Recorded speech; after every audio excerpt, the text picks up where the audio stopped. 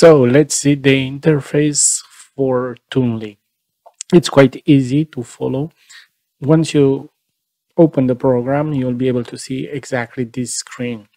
Here on the left hand side on the top, you have view, edit and info. When you go to about Toonly, you can see exactly what version you are running on. Uh, I'm running on 1.3.9 is the latest one that they released. Here in the edit, you have undo, redo, cut, cop, copy, paste, and select all. If you select all, actually will not really happens because this is related to the other screen. On the right hand side, uh, on the bottom, we have the Toonly toolbox. So you'll see exactly what edition you have, if you have Toonly Standard or Enterprise, if you opt in to pay for the Elite Masterclass, if you own Doodly, and now later we have Voomly, and this is actually something quite nice and quite interactive. I like it a lot. On the upper part, you have a search box. This refers to finding your projects. Uh, as you can see, I cleaned up a little bit here, but normally you can have up to 20, 30 projects, especially if you work with customers. On the left hand side, you have your projects with their names, uh, the number of scenes in each project, and how long that project it is, when it was created for the first time, and you have a few actions.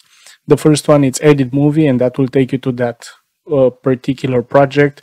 The other one is duplicate, and that will duplicate the entire uh, project itself, or delete. Uh, I will delete this one, for example, so it's very easy. You click it, confirm, and it's deleted. Uh, I have another one here that I want to delete is this one that's zero seconds. So we'll delete this one as well. But this one that I have four scenes for it, I want actually to duplicate. So I'll click duplicate. I'll say project duplicate and click duplicate. Now I have the same project as I had before uh, doubled. And a lot of people actually, I noticed, ask if you can do that. So yes, you can do that from this main screen. If you go to edit movie, you'll be loading that movie and you'll have everything that you had before so you can play around. We'll come back to this later on. So those are the action that you can actually take from here. Each one of those suitcases represent the four software that are available for you to purchase. If you want to learn more about one of those, you just click on learn more. It will open directly and it will give you an option to sign on. Voomly again, it's a video collaboration system that actually permits you to ask questions during your video. I highly recommend this one and I'll try to put the link in for you. Uh, the other one that we have here, it's Doodly. If you haven't heard about Doodly, it's an amazing software, very similar to Toonly. However, the best part about this one is that it you have a hand that draws everything. So it will draw this guy and it will color him inside, and it's it's really amazing. It, it's worth checking it out if you didn't have this. Last one that I want to mention, of course, is the Toonly Elite Masterclass. It's quite similar to what we are doing uh, for you for free. Uh, you have a certain amount of courses done by Pamela Dimick, and you can find those all in here. There are six modules in total, and they cover all sorts of things from cinematics, working with text, characters and objects. Most of those you'll find in our channel as well. Very soon they'll all be released. So that's it for the main screen once you open it. Next, we're going to cover the inside of the software. So stick around. So let's start the project in order to learn the basic of Toonly. First of all, we'll, create, we'll click on create new video and we'll call it basic training and click enter. That will create our project. We have on the left hand side a few buttons here. So let's start with scenes. Scenes are pre-made animation that are already uploaded. I usually do not use scenes uh, they're not very useful, especially if you're working on a project. However, they can give you a good idea of what you're doing in the future. So first, let's bring, I'll just pick a random one here, office work. A scene will contain a background and a few objects or a few characters. Let's play this and you can see the full animation. It didn't load yet. Let's wait for it to load. You can see the uploading process here. Now it's loaded. With these buttons, I can go to the beginning or the end of the animation. So that's the beginning, that's the end. Let's see. So go to the beginning, play. We have each character doing something else and it disappears at the end. So that's a scene. You can play with it, uh, you can change it a little bit. However, it's quite rigid from this point of view. So I do recommend you to start from scratch always. It's good at the beginning to start with the scene because it gives you an idea of how to arrange things and how to do certain things. But in my opinion, just for training purposes, definitely not to use in projects. I'll just remove this scene quickly and we'll start from blank again. I'll click on undo button and the scene will disappear. This red line, it's our play line and you have here your timeline. It's in seconds.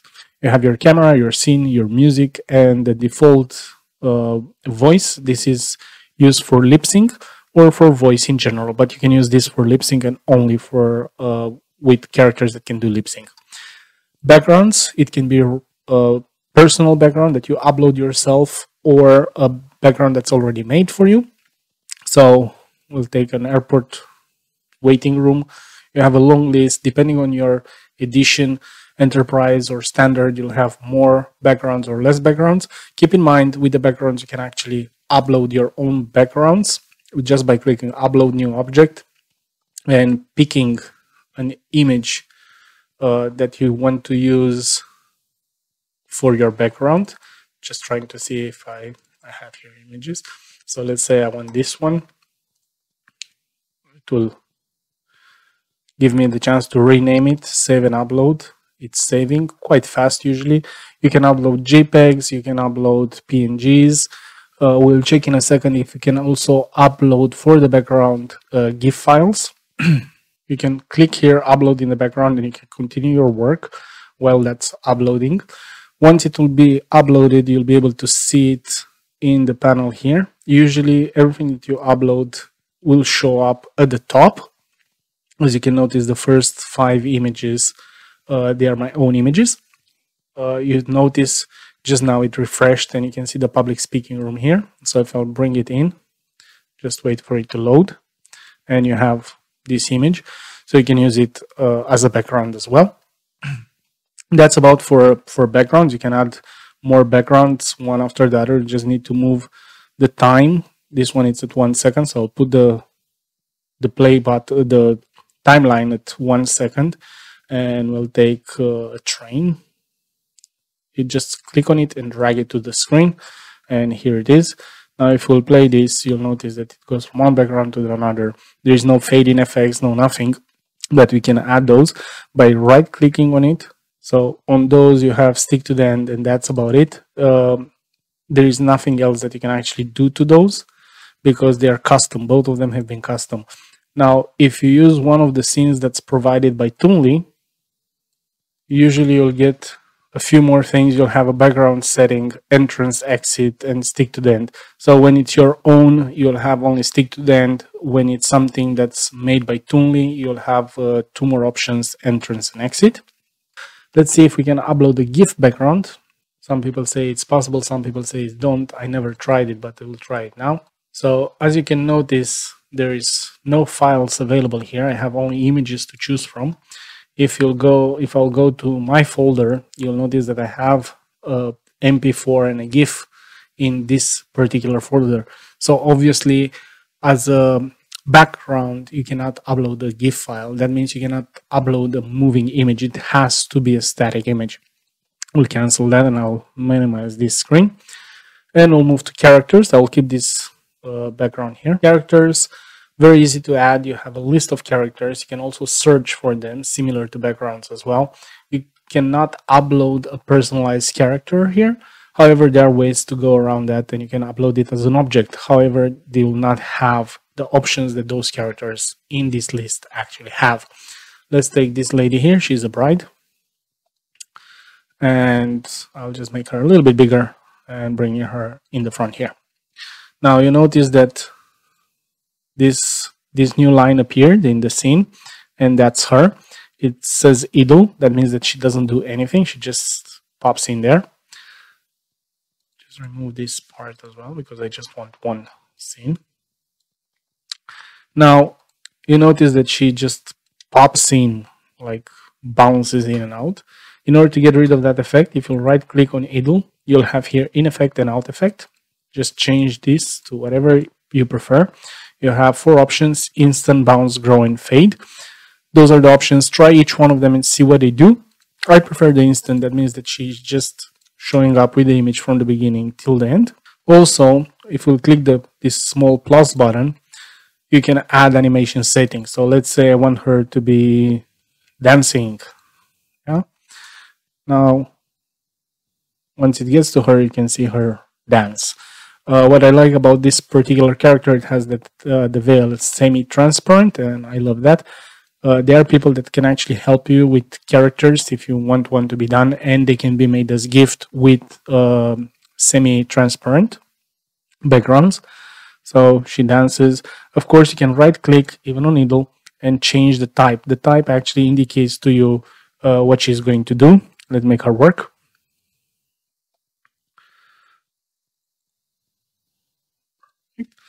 And if we click play, she sits down and she works. She's not happy. And obviously, I would not be happy either if I had to work. Uh, interpolation, if we'll change that, to stretch, you can actually adjust the timing or the speed of uh, the action that she does. In some cases, you'll also notice that uh, some characters will have also moods. So let me remove her. I'll just click on her. She gets highlighted and I'll delete her. So as you can see, it's very easy to add characters, to remove them, to adjust them. To adjust the size of the character, you have this little blue uh, square with an arrow and you can just increase it or decrease it. You can see I can put him here in the corner. He was a bad, naughty boy. And we'll make him sitting there angry. You'll see they're very, very angry and he'll be instant, instant save. He's upset that the teacher just ignores him. Yeah, he's very, very angry. And so on. Now, if you want to make a character move across the screen, let's say that he want we want him to walk. Walk it's um, walking it's one of those actions that requires the character to move around the screen. You have those small dots at the beginning and the end. Those are keyframes. So we'll put it here. We'll click on the dot, just adjust it a little bit, and then I'll go to the end and I'll move it up here and make it a little bit smaller. Go to the beginning. Once I'll click, you'll see how he does the moonwalk and he walks across uh, people. It's not the best path that I could get. Uh, those need adjustments, of course, and you might need to add a few more. But he also walks backwards. In order to flip him around, you just have this button. You just click on the character, and when you flip him, now he will walk in the correct direction. Of course, he's not positioned correctly for this image in particular. That's perspective, and we'll have a full training on perspective, so we'll not cover that now. That's about it for characters. We'll move to objects. Same with the characters. In objects, you can use your own objects. The difference is that you can actually upload different backgrounds as well. You can upload objects that are GIFs. GIFs, it's an animated uh, moving uh, movie. So I'll just have one of those to show you. Sorry, wrong folder. Here it is. And I have here one. So we'll upload this one. It's called source. I'll call it dog because it's a dog. Put normal one because you might have another dog in there. It's uploading quite quickly. Now once, um, again, you don't have to wait for those to happen. I usually put a few things to, to upload and then I upload them in the background and work on other stuff. While it's uploading, let's try to take uh, an object. So I'll take, so let's pick up an object. I'll pick this dog here, meanwhile. It's, an, cartoonish dog. And we'll put it here. Again, you can adjust the size of the dog. You can flip him around to face both ways. Now you'll see those two buttons to the foreground or to the background and each one of them actually will bring uh, the dog one layer behind or one layer uh, forward. In order for us to understand that better, I'll just move move it a little bit backwards as a play and I'll put the dog here. Now, if you'll play, you'll notice how the person passes behind the dog. If I'll click on the dog and I'll move it to the background, you'll notice that the person actually passes in front of the dog. So you can see his legs here. Uh, this is called working with layers and we'll cover layering in a whole new tutorial for you. In order to make an object move, very similar to making a character move, you have the keyframes. So we'll pick this keyframe, click on the dog, here, and then click on the last one, place the dog just here. And now, sorry, I forgot to move backwards. And here is the dog moving along the, the screen. Of course, this is not a perfect animation for a dog as this dog doesn't walk, doesn't do nothing, it doesn't make a lot of sense. However, uh, the general idea is that you also can make, let's take this a word Meanwhile, I will remove the, the person because I don't need him anymore. So this award, another keyframe that you can do is this keyframe as it is now. And then the last keyframe, we can make it much larger. What that will do, when we look at it, it will just make the whole thing grow over the screen and then disappear. In this case, the reason it does that, because if you look right click on it, you'll see that the default effect for this one, it's actually fade in, fade out. If we'll make it instant, and we'll click play, you can see how it grows and then it will just disappear.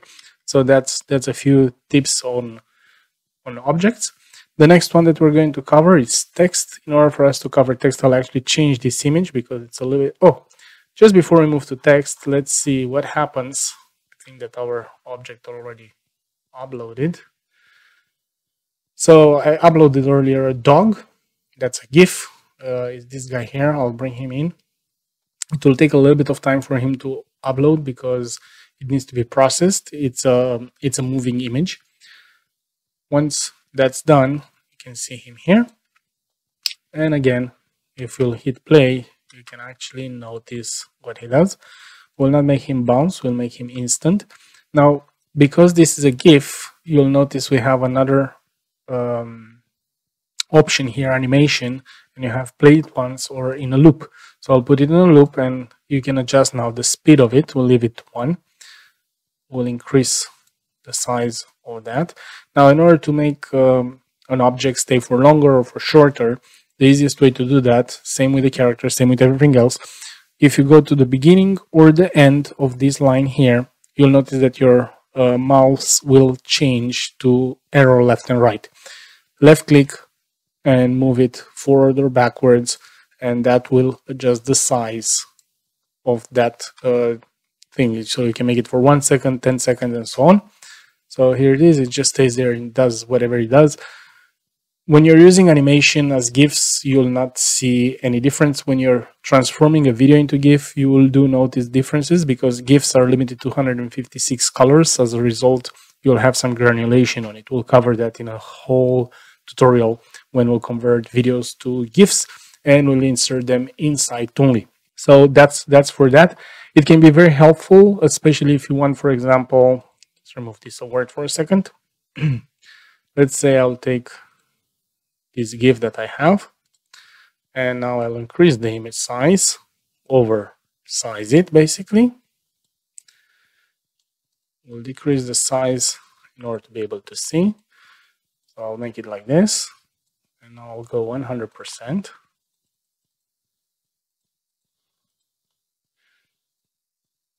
Perfect. I have here a button that says save. I'll save my project for a second. It says save uh, successfully and I'll click preview. And you can see it's just the whole screen. Now this is the way you'll be able to insert a video and make it as your background. As you remember, we couldn't upload videos for backgrounds. This is the way you can do that. So that's being done. Let's remove this puppy away. Don't remember his name and let's change our background. We'll change it very quickly. Let's put this at the beginning. And we'll put something. Easy like a blue chroma that I think that that's perfect.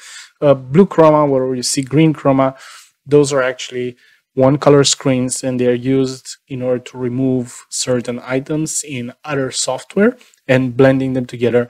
It's an advanced and uh, intermediate training and you can find already some uh, training based on this on our channel. Going to text, by default you have four, uh, five types of text. You have smooth text, sliding, uh, marching, joy, and spread. I'll bring all of them in front of you. So let's bring the smooth text first. Then the slidey text. I just click on them and drag them over. That's all it is. They are all at the beginning because they'll be inserted wherever my timeline is.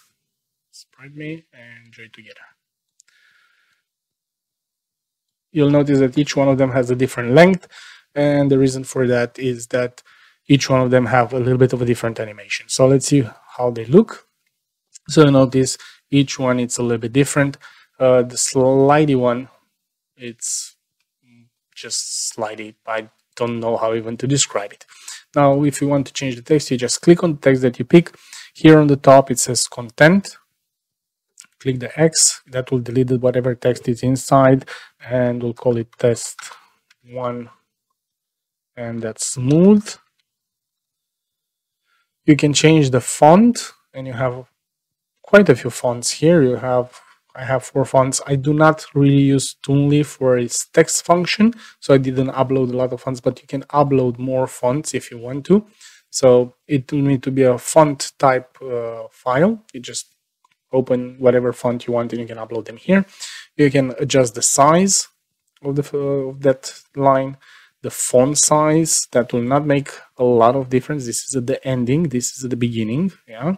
So if we make it 10 here, and I'll take this and move at the end. Click on it and at the end I have it like this. And now we'll go back and play. The text literally grows uh, is not a function that I like to use but it's a good function in some uh, areas. Then you have the special text settings and here you have the color of the text duration in duration out and the underlay opacity if make this a little bit bigger so we can see what it is and make them both the same. So it doesn't grow or change. Perfect. So you can see now I actually have a background um, and if I bring this down it will be semi-opaque and so on. This is great to be used when you're trying to do subtitles or you want to put some text, but you want to distinguish it better from uh, its surroundings. Of course, you can change the color of uh, that underlay and underlay padding. It's like a shadow that's applied to the text. It will be similar to each and every one of the text. Doesn't matter which one it is, you'll have the same options for them.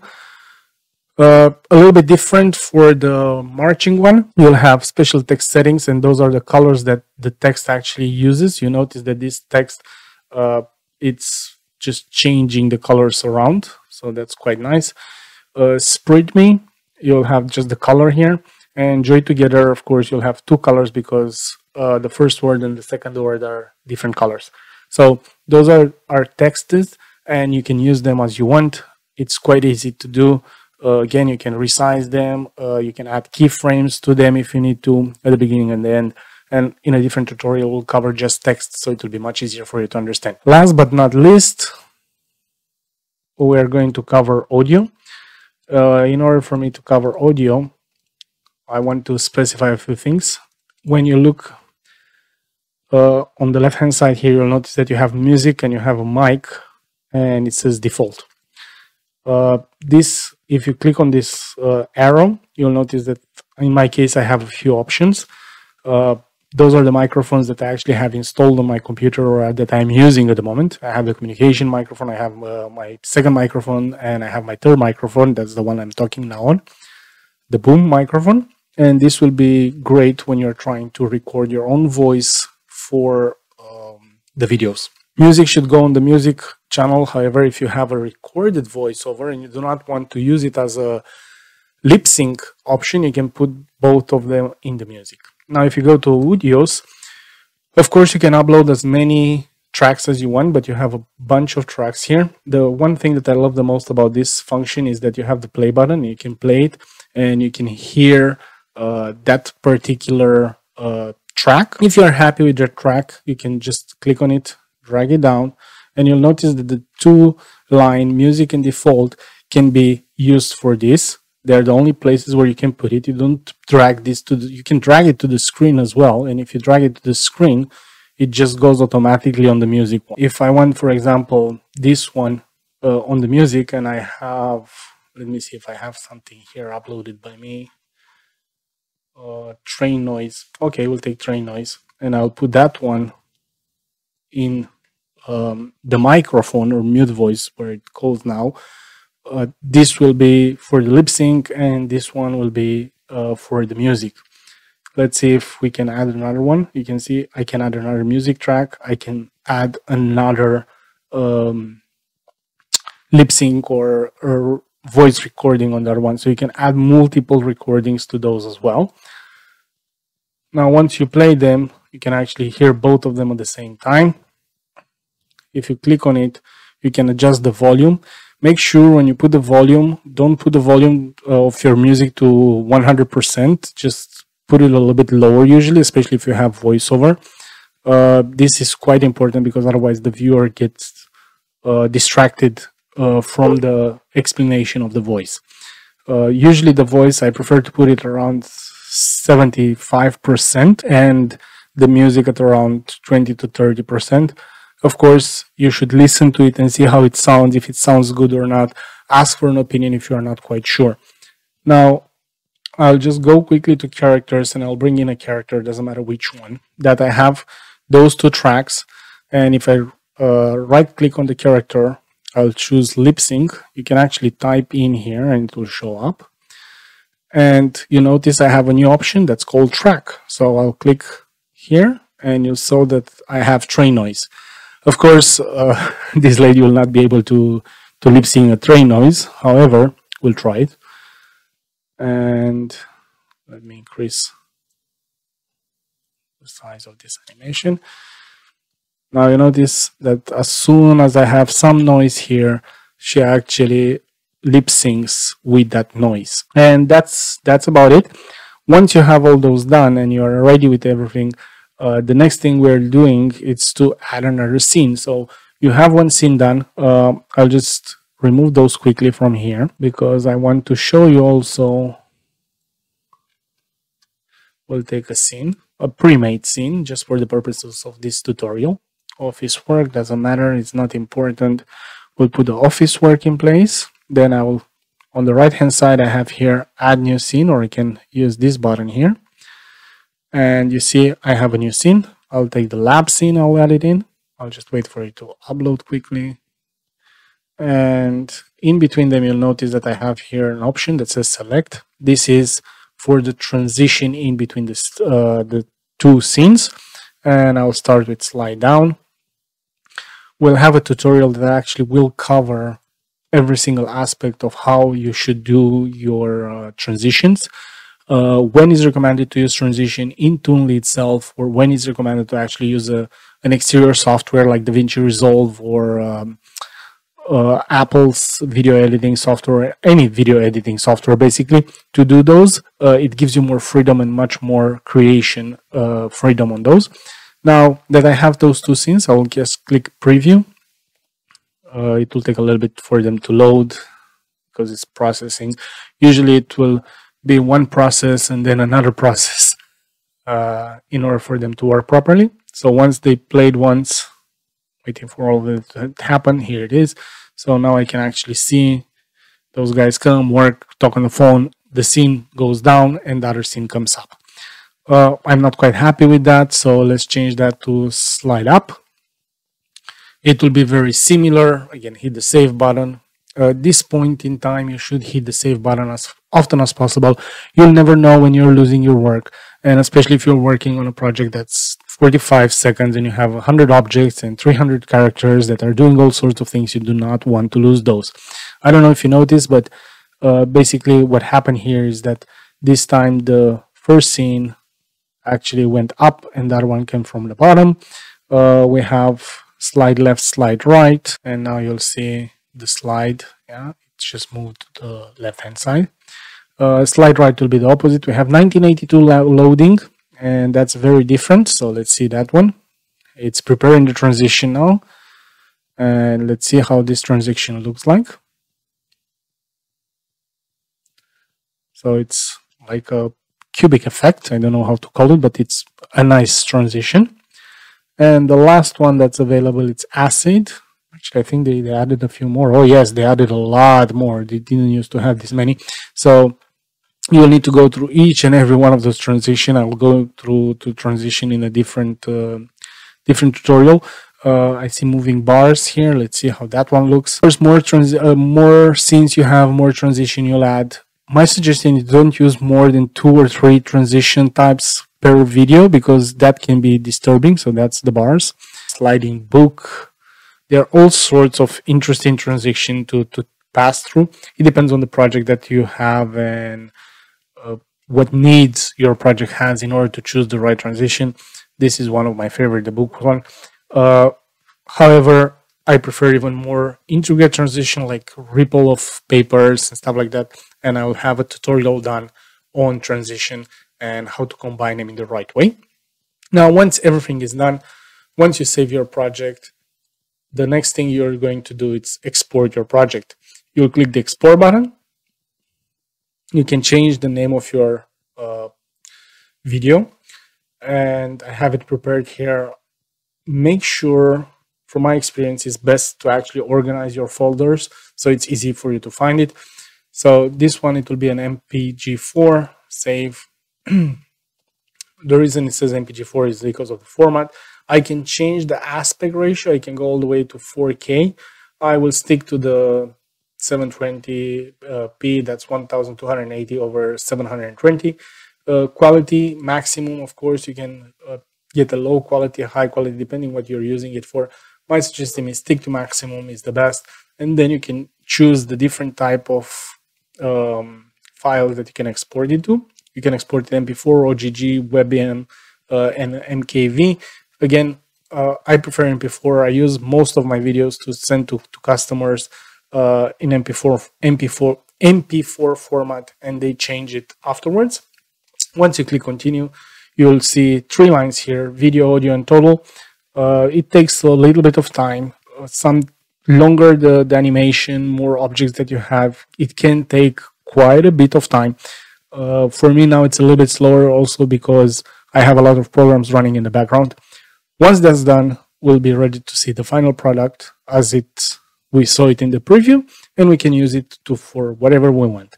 I hope you enjoyed this tutorial. Don't forget to subscribe to our channel because once you get your hands and you get your grips on how to use the basics, you will be able to follow our other tutorials and enjoy them even more. Hope you had fun and see you next time.